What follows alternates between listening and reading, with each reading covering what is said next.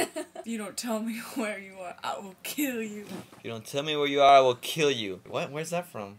Valentine's Day was a rockin'. We saw Taken, it was a rockin' times two. That's why I said it twice, right? You're so no help for me. yeah, the movie was a great thriller. At first, I, I, got the concept. I'm like, wait, why isn't Jason Statham in this? But you know what? I realized that this guy, Liam Neeson or whatever, he's a great, great guy for the role because he has so much more emotion, so much se this seriousness is just so great, so great.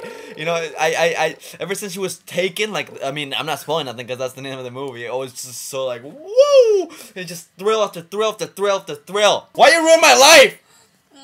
Are you ready for more? I can't hear you. I thought I Quit mumbling.